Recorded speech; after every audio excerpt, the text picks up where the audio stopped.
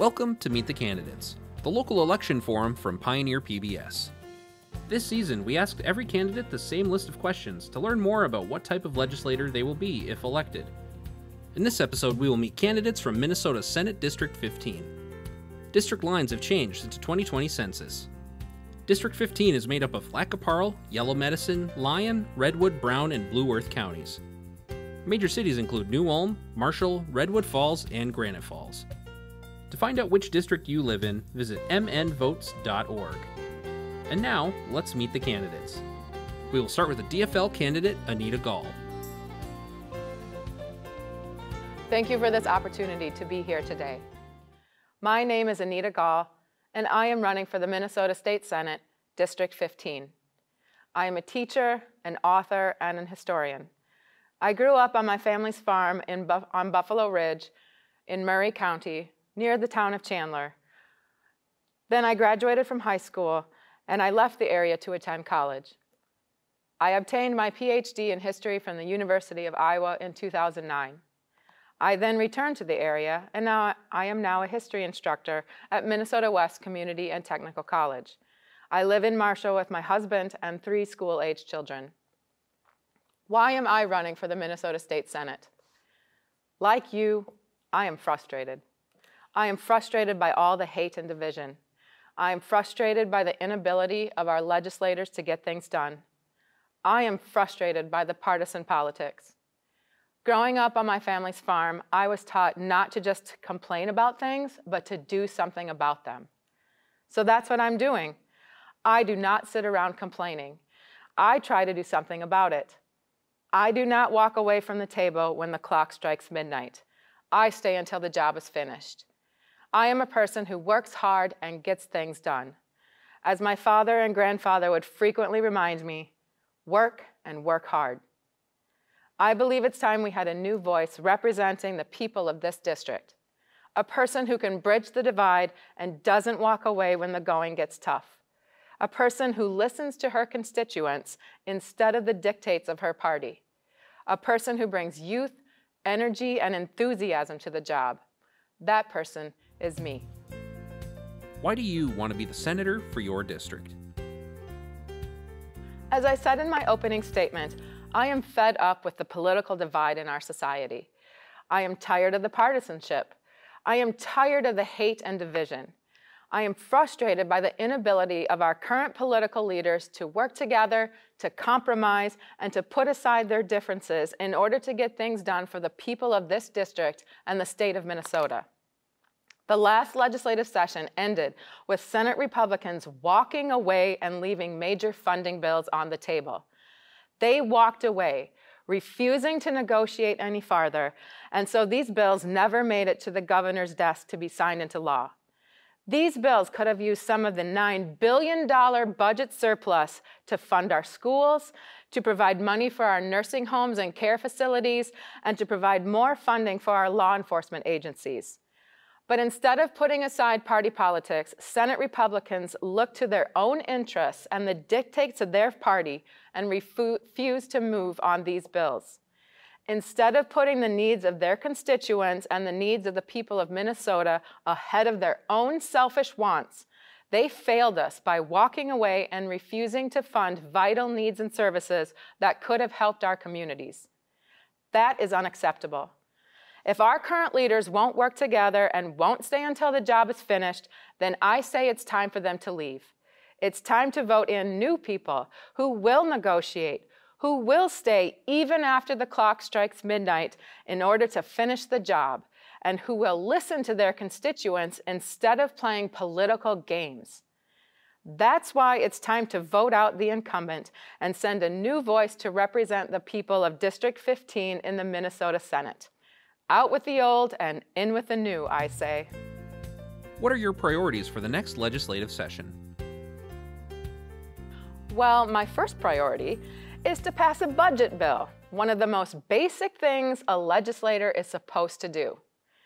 The inability to do this in the last legislative session left organizations, communities, and cities in this district, it left them in the lurch, scrambling to find money to fund basic operations and services that enable our communities and our institutions to function.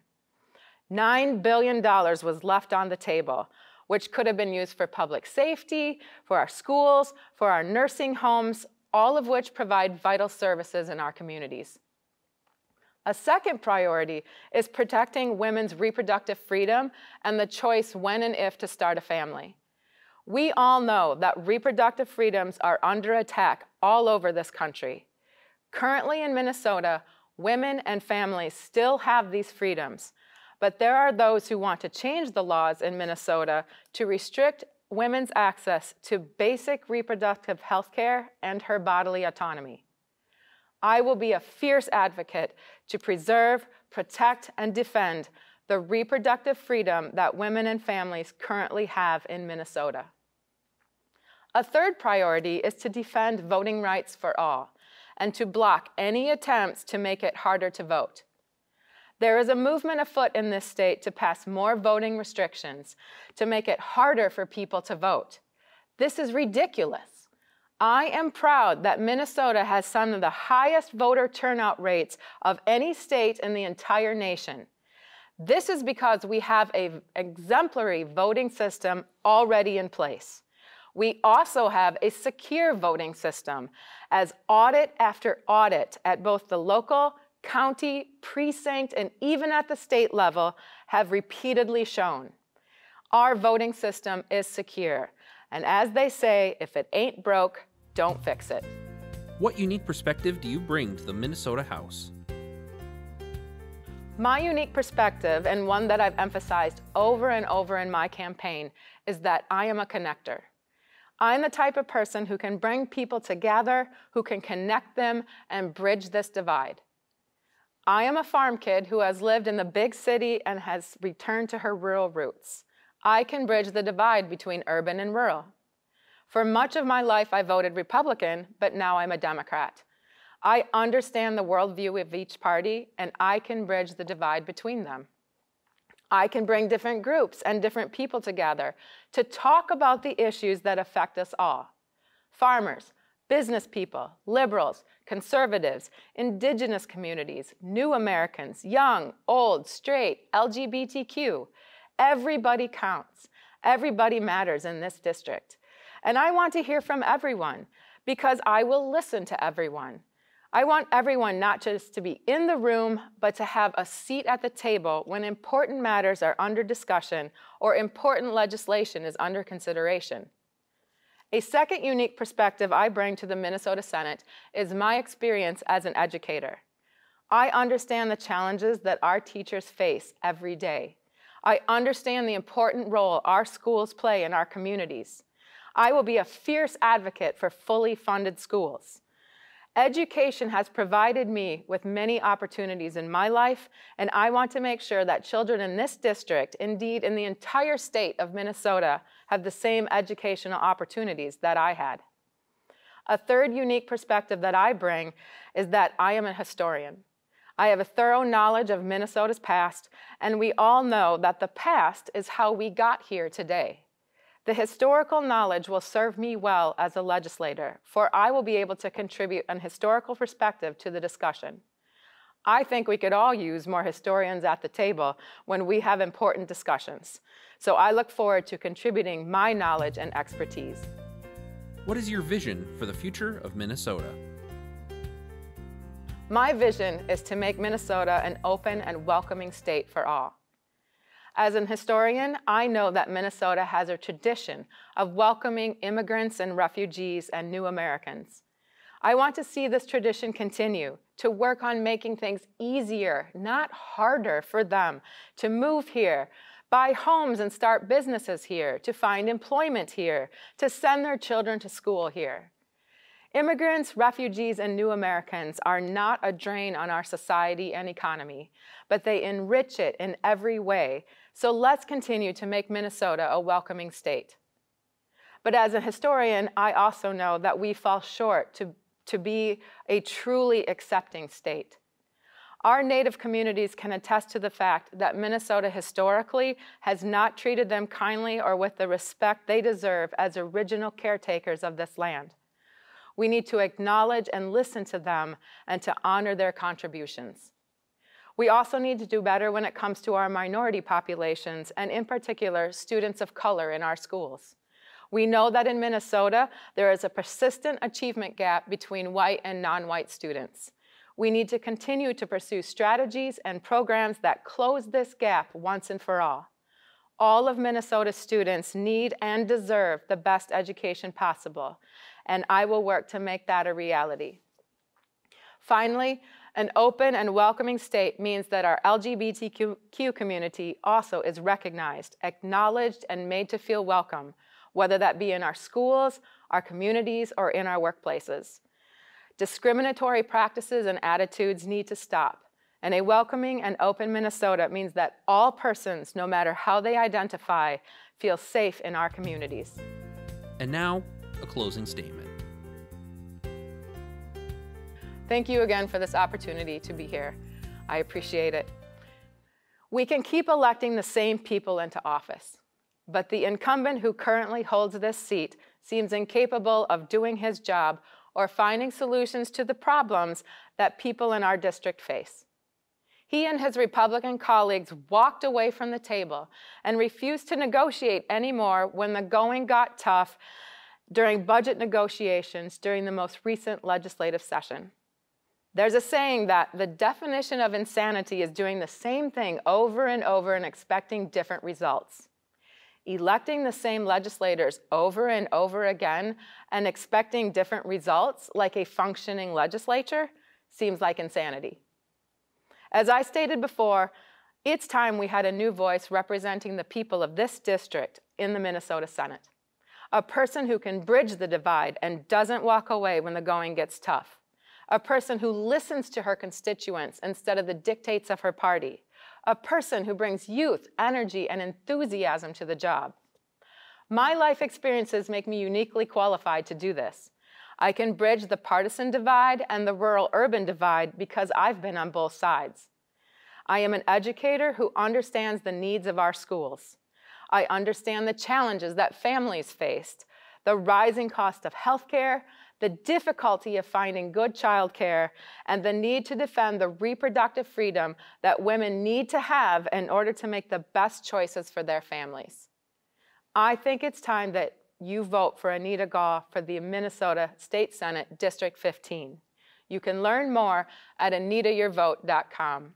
And remember, Anita your vote on November 8th. Thank you very much. You can find more information online about Anita Gaul at her website, anitayourvote.com. Next, the Republican candidate, Gary Dahms. Well, good evening, and I would like to thank Pioneer Public Television for holding this uh, event. I certainly do appreciate it. I'm Senator Gary Dahms. I'm in my fourth term in the Senate, currently serving Senate District 16, which will soon be Senate District 15. I was born and raised in uh, rural Redwood Falls, Clements, Minnesota. I graduated from the University of Minnesota, a degree in Ag Business and Economics. I am married to my wife Barb for 46 years. We have two children and two grandchildren, and I'm a fiscal and social conservative. I've owned and operated a Dahms Insurance agency for 26 years, and I retired from that in 2012. I, during that time, I served on several boards, commissions, and organizations within the community. 2008, I was elected to the Redwood County Board of Commissioners.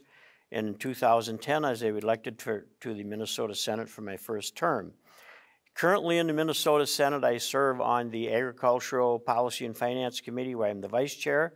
I serve on the uh, Commerce Policy and Finance Committee, where I am the chair. I serve on the Housing Policy and Finance Committee, and, and also serve on the uh, uh, bonding committee or capital investment committee. My priority, my priorities in the Minnesota Senate have been to make sure that we pass good legislation, have a balanced budget, and make sure that that legislation is good for everybody as much as we possibly can, but especially rural Minnesota. Uh, rural Minnesota is, uh, we have, we're losing representation at the state capitol all the time And so I want to make sure that we do everything we can to make sure that our people in rural Minnesota are represented. And with that said, uh, my priorities are basically what we're hearing. We're knocking on doors crime, inflation, and education. And with that said, I ask for your vote on November 8th. Why do you want to be the senator for your district? The reason I'd like to continue to represent the people in Senate District 15 at the Minnesota Capitol is when I look back at the opportunities that I have been given throughout my lifetime, be it, be it education, be it business, be it whatever. I've had some really great opportunities, and I want to make sure that our children, our grandchildren, and future generations have those same opportunities. And that's very important to me.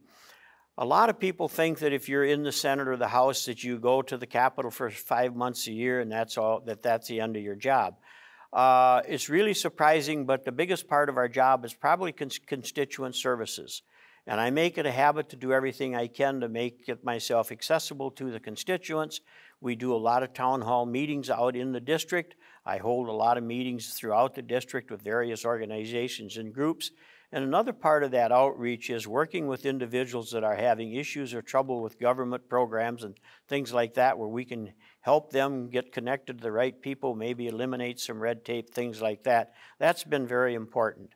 I also think that my values and policy, policy positions uh, bring a lot of uh, benefit to the district. And my goal is always to have Minnesota be the best place that people can live, work, and raise a family. I think that's very important. My background of proven leadership, trusted experience, strong values, and common sense and fiscal responsibility give me a lot of advantage and give me a lot of help when I serve in the Senate. What are your priorities for the next legislative session? Well, thank you for the question. Uh, there's several priorities for the next session. It seems as the government as the government continues to grow and things continue to happen, there get to be more and more issues that become higher level issues.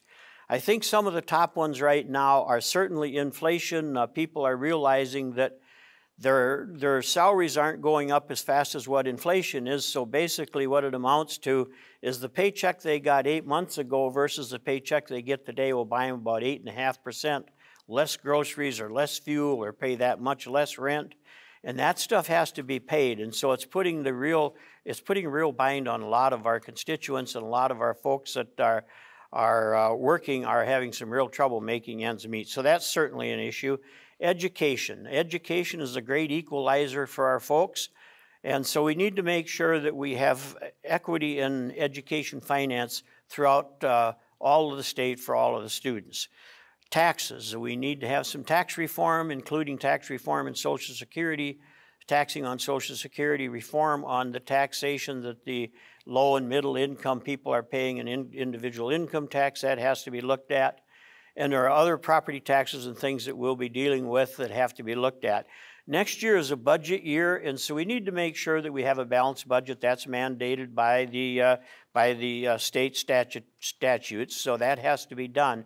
But we need to make sure that we do this in a way that uh, we're making sure that what we fund is funded because of what they're accomplishing and not funded just by adding another number of dollars to the budget. So uh, another thing that has to be in that budget is certainly health care. We've got some real serious issues with health care in the rural nursing homes, assisted living, and the homes for the disabled. And a lot of that has to do with the Medicaid payments that we receive. And we need to make sure that we have more equity in the amount of dollars that a Medicaid is being paid in rural Minnesota versus the Twin Cities. What unique perspective do you bring to the Minnesota Senate? Well, I think one of the, I think there are several things that I bring to the Minnesota Senate that has certainly helped me be a better senator. Uh, certainly my background. I came from an agricultural background, a rural background. I have lived in various communities. I've lived in rural Minnesota majority of my life, but uh, there was a time period when I lived in St. Paul and Minneapolis, and then I lived in Denver, Colorado for a while. So I think having lived in various communities, and uh, I think I have a very good understanding of how rural Minnesota operates. I think my experience as a business owner and county commissioner helped me uh, when we get into negotiations and get into putting bills and issues together. I think that helps me there. I certainly think I've been very fortunate in the leadership opportunities I've been given uh, through the local community organizations where I've been on those and been a leader, uh, committees, uh, commissions, and different boards. I've been had the opportunity to be on those boards and learned a lot, and in many cases in the leadership team. I also think that it gives me the ability to work in a bipartisan manner, and that's very important. You got to reach across the aisle to get things done. And there's some times that you just can't make that happen, but the majority of the time, probably 90% of the bills we pass are passed with a bipartisan support, and we need to continue to work at that. The other thing I think that I really bring to the Senate, uh, especially for me in rural Minnesota, is my ability and strength to fight for what's best for rural Minnesota, and I think that's very important. What is your vision for the future of Minnesota? Well, I feel we need to create a state where people want to work, to live, and raise a family in a friendly environment. And I think to do this, we have to create an atmosphere of safety in our communities. We have to have tax policy that rewards people for working, and education funding that treats all students equally. We need to provide jobs for people to support themselves and build the workforce that's necessary for our local businesses who need those employees. We must also provide a safety net for people that are unable to work, are handicapped, and the elderly. And I think that those are the things that uh, we really need to take a look at. We need to make Minnesota a place that people are proud of, that they want to work, they want to raise their families, and they can get an education and have good jobs. And now, a closing statement. In closing, I would like to thank the Pioneer uh, TV for uh, hosting this event. I'd also like to thank the residents of Senate District 16 for giving me the opportunity to serve as your Senate, serve as your senator at the Capitol for the past 12 years. My record in the Senate shows that I work hard to reach across the aisle to accomplish cooperation and compromise. I would appreciate the opportunity to continue to represent Senate District 15 in the state Senate, and I ask for your vote on November 8th. Thank you, good evening, and God bless. You can find more information online about Gary Dahms at his website, dahmsforsenate.com. Learn more about voting, how to register, and what district you live in by visiting the Minnesota Secretary of State website at mnvotes.org. Remember, Election Day is Tuesday, November 8th. Thank you for watching Meet the Candidates on Pioneer PBS.